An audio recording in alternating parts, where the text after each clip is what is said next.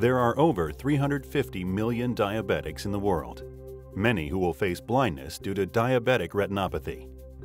It is estimated better screening and diagnosis can reduce diabetic retinopathy-induced blindness by 50 to 60 percent. To date, effective screening, particularly in developing countries and rural areas, has been difficult due to the cost and cumbersome nature of diagnostic equipment. Reteval is a patented transformational technology designed to revolutionize the identification and management of diabetic retinopathy. This inexpensive handheld device provides quick, easy, and accurate assessments of the presence of sight-threatening diabetic retinopathy. So, how does Reteval work? Here's a brief demonstration. First, remove the device from its charging cradle. Using the built-in user interface and joystick, enter the patient ID and birth date. Scan the barcode on the single-use sensor strips using the built-in scanner. The self-adhering sensor strips are designed for proper location and orientation. Place one below each eye. Using the simple clip connector, attach the Reteval device to one of the sensor strips as shown by the graphic on the device display. Position the device over the patient's eye, under which the sensor strip is connected. Ask the patient to look at the red fixation LED and using the live video provided by Reteval as a guide, position the pupil of the eye within the green circle shown on the display. Press Start when properly positioned and the Reteval will start flashing light into the patient's eye. The retina will respond to these flashes by generating small electrical signals, a response that occurs with any light source. These signals radiate through the facial structure to the sensor strip. Reteval detects the electrical field created by these voltages using the sensor strip. The time delay between the light flash and response is measured.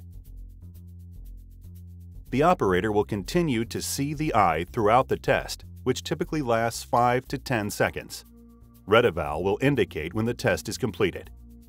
Repeat the procedure on the companion eye. Results of the test are shown on the Reteval display.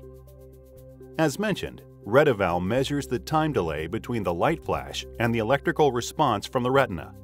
Patients with diabetic retinopathy will have a delayed response. Research has shown that this time delay correlates well with the existence and extent of diabetic retinopathy. Features of Reteval include unique patent-pending sensor strips that streamline the setup process, Auto adjustment of flash intensity based on pupil size, eliminating the need to dilate the eye. Multilingual support. The ability to store results on the device for later review. And the ability to transfer results in PDF format to any computer via a standard USB connection.